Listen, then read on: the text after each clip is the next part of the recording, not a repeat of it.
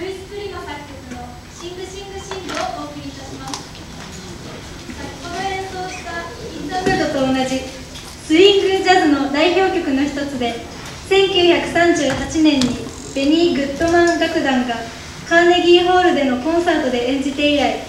同楽団の代表曲として知られる作品になりました。ドラムのビートに乗って登場するトランペットとクラリネットのソロにご注目ください。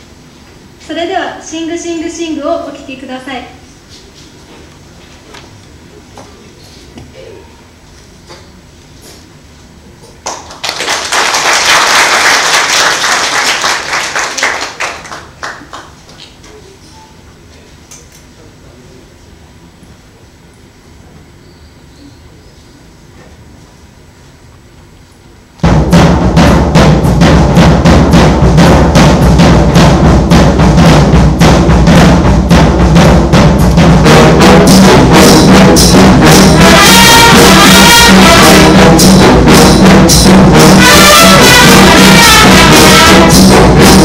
Yeah.